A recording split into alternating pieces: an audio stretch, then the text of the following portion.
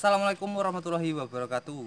Kembali lagi di Pecinta Merpati Channel. Ya sobat pecinta merpati Kali ini saya mau Coba Latih burung merpati saya ini kan pada giring Tapi karena ada Aturan untuk Tetap di rumah atau lockdown Kali ini saya mau melatih burung merpati saya di Samping rumah.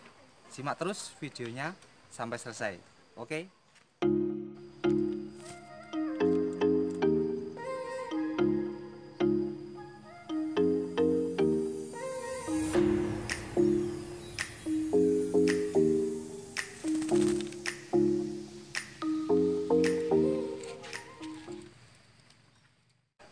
Saya ini ada dua pasang yang giring.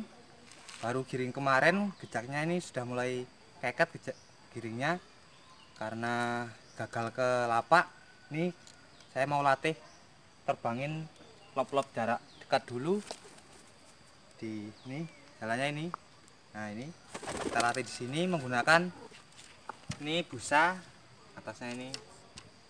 Tangkar jemur saya taruh ini biar empuk Nah, saya perkenalkan dulu ini burungnya ini.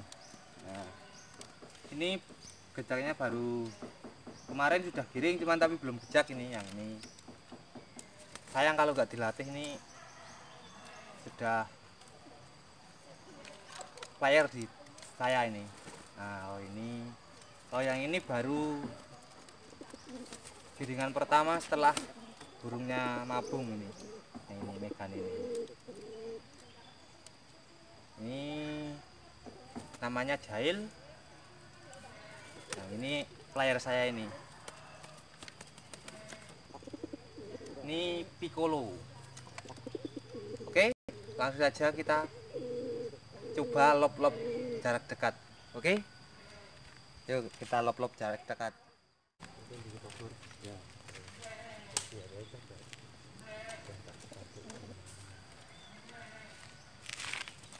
dulu. Kita coba jarak dekat dulu ini pengenalan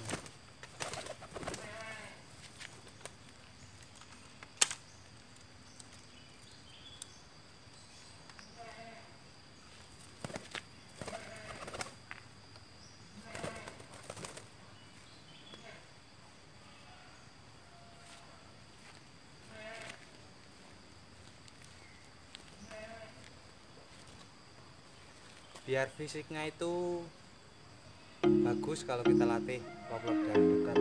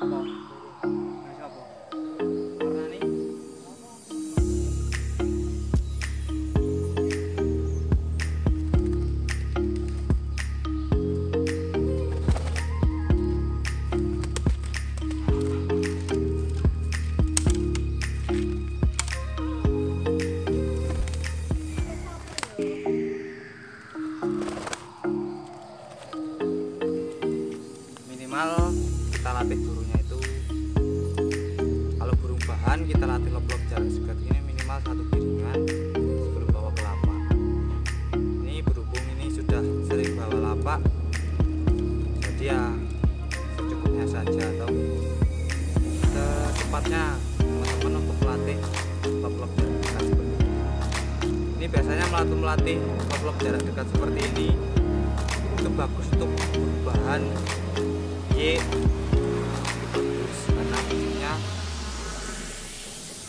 biar bagus dan terbangnya itu lurus ya kan? Yang bahan biasanya terbangnya itu masih suka muter atau belok-belok.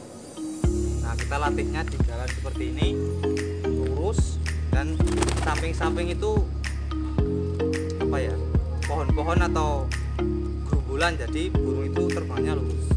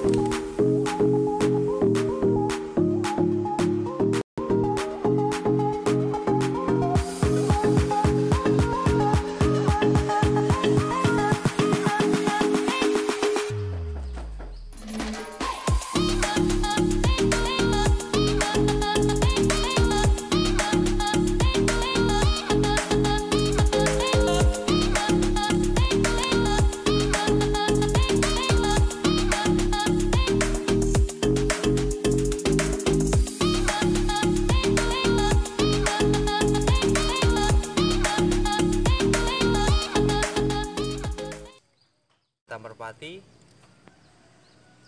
pelatihannya cukup sampai di sini. Nah burungnya sudah lumayan lah terbangnya udah cukup. Besok kita ulangi lagi latihan lop-lop jarak dekat ini. Karena burung yang masih giringan pertama itu sebaiknya itu kita lop-lop jarak dekat itu di rumah dulu sebelum kita bawa ke lapak. Jadi kalau saat pada di lapak itu burung sudah terbangnya itu sudah lurus. Sudah enak kita latihnya di lapak. Oke mungkin itu saja video kali ini. Semoga bermanfaat bagi teman-teman. Jika teman-teman suka dengan video ini jangan lupa like dan share. Serta boleh kritik dan saran bisa tulis di komentar. Oke? Sekian. Assalamualaikum warahmatullahi wabarakatuh